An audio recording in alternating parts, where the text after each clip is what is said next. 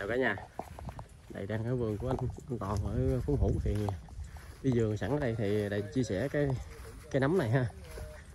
Cái nấm này gọi là nấm ờ, uh, Rhizopsonia lộn lộn cái lại xin lỗi cả nhà. Rhizopsonia solani ha nấm này. Mà nó nó nó nó thường hay bị vào mùa mưa. Thì khi nó bị nó lây với cả nhà.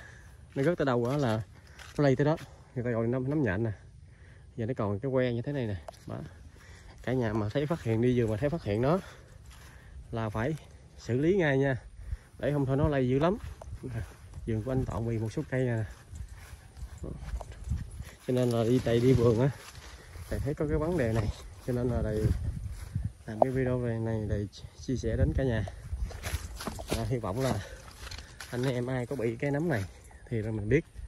Rồi mình khắc phục nha. Cái nấm này nó, nó gây rớt cái lá già.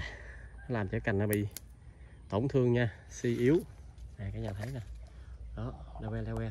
Nó thấy không? Đó. thì cái này chị bằng cái gì? Thì cả nhà đi ra ngoài tiệm á hỏi người ta hoặc chắc. Đó. Walidamicin ha. Để xịt phủ cây hết trơn. Nha.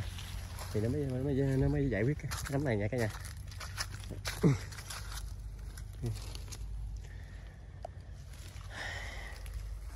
Cái vườn của anh toàn bị à, bị à, nhiễm độc bất lo ngày xưa.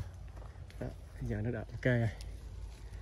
Giờ này đang cho à, tưới ba la hai ba cử nữa. Thì cái quay lại cập nhật cái vườn này cho cả nhà xem nha.